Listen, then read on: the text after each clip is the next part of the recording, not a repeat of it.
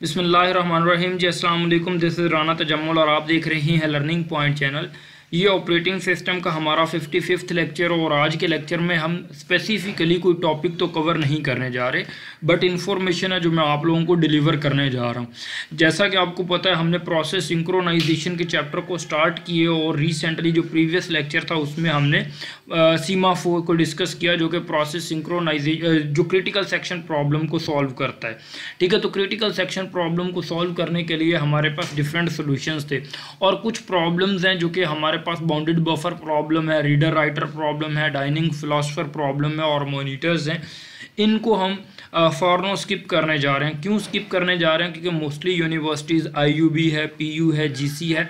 इस इनके सिलेबस में जो है ये वाला चैप्टर प्रोसेस सिंक्रोनाइजेशन का इंक्लूड नहीं है।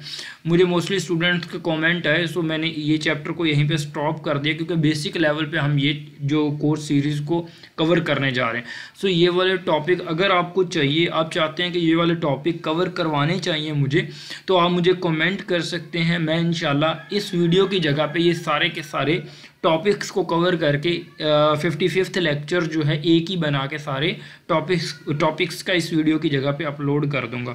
But make sure to subscribe my channel और कमेंट लाजमी करें, इस वीडियो को लाइक भी करें और मेरी फुल प्लेलिस्ट को आप फॉलो करें। इन ऑपरेटिंग सिस्टम आपको इंटरेस्टिंग लगना शुरू हो जाएगी। क्योंकि मैं बहुत डिटेल में, बहुत बेसिक लेवल से लेके आपको कॉन्सेप्ट को कवर करवाने की कोशिश करता हूँ। So thank you so much keep supporting अल्लाह हाफिज़, मिलते हैं नेक्स्ट लेक्चर में, जिसमें हम डेडलॉक को स्टार्ट करेंगे। थैंक यू अल्लाह हाफिज़।